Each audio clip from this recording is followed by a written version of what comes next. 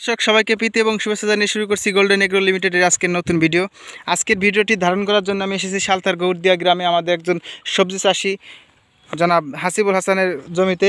তিনি নিয়মিত পুঁইশাক চাষ করেন। পুঁইশাক চাষ করার মাধ্যমে তিনি লাভবান হয়েছেন। তিনি একজন পেশায় শিক্ষার্থী এবং তিনি নিয়মিত সবজি চাষ করেন এবং স্থানীয় বাজারে বিভিন্নভাবে পাইকারি বিক্রি করেন। আমি এটাকে সাধুবাদ জানাই যে একজন শিক্ষার্থীও তিনি সুফল মানে সুন্দরভাবে সবজি চাষ করতেছেন এবং দেশের মোট সবজি উৎপাদনে তার ভূমিকা রাখতেছেন এবং খানিকটা তার সাংসারিকভাবে তিনি একটু স্বাস্থ্য মানে স্বাবলম্বী হয়েছেন। আমরা এখন এই যে দেখতে পাচ্ছি যে সবজিগুলো, দেখুন কি সব, সুন্দর সবজিগুলো কাটতেছে, তিনি কাটতেছে, যদিও আমরা তার ফেসটা দেখাতে পাচ্ছি না পারিবারিক কারণে। দেখুন কি সুন্দর সবজি তিনি কাটতেছেন, এই যে সবজি কেটে জড়ো করেছেন। এগুলো স্থানীয় বাজার, আজকে বাজারে মানে নেবে। বর্তমান পুঁইশাকের বাজারটা একটু মন্দা, যার কারণে বেশি ভালো দাম পাচ্ছে না। নাহলে যে সুন্দর পুঁইশাক, দেখুন এত সুন্দর পুঁইশাক আসলে আমরা গত বছরের একাটি পুঁইশাক বিশ থেকে তিরিশ টাকা দিয়ে কিনেছি, এই বছর একটু দাম কম দশ থেকে পনেরো টাকা সম্ভবত দাম সেদিন নিয়েছিলাম।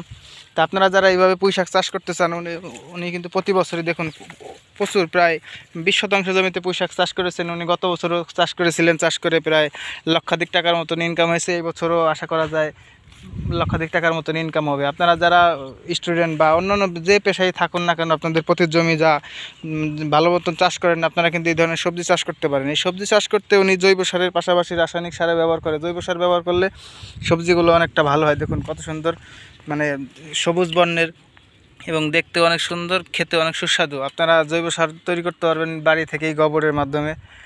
তৈরি করে এই সবজি চাষ করবেন। আশা করি আপনারা ভালো একটা ফলাফল পাবেন। আর সবসময় খেয়াল রাখবেন যখন আপনি চারা বা বীজ দিবেন যেন ভালো বীজ আপনি দিতে পারবেন। মানে ভালো বীজ যে ভালো ফসল, এই কথাটা আসলে মানে যুগান্তকারী একটা কথা, এই যে উনি যে বীজটা ব্যবহার করেছেন এটা হাইব্রিড একটা বীজ, যার কারণে অনেক সুন্দর হয়েছে। আমি গত বছরে নিজে করেছিলাম, দেশীয় বীজ করার কারণে দেশ গাছগুলো একটু চিকন চিকন হয়েছিল, তেমন মানে সৌন্দর্য আসছিল না, বাজারে বিক্রি করতে একটু সমস্যা হইতেছিল। আপনারা ভালো বীজ দিয়ে ভালো মতন সবজি চাষ করবেন, আশা করি ভালো একটা ফলাফল পাবেন। আর সবজি পুঁই খেতে গোড়া পচা একটা রোগ থাকে, এই রোগের জন্য আপনি অ্যামিস্টার টপ বা নাটিবো স্প্রে করতে পারবেন। আর নিয়মিত আপনি যদি জৈব বালাইনাশক ব্যবহার করেন সেক্ষেত্রে আপনার যে পাতা পচা বা অন্যান্য যে রোগ আছে এই রোগগুলো থেকে পুঁইশাককে উম, মানে মুক্ত রাখতে পারবেন। ধন্যবাদ সবাইকে ভালো থাকবেন। আমার এই ভিডিওটি যদি ভালো লাগে তাহলে আমার চ্যানেলটি লাইক কমেন্টস শেয়ার এবং সাবস্ক্রাইব করে পাশে থাকবেন। ধন্যবাদ সবাইকে।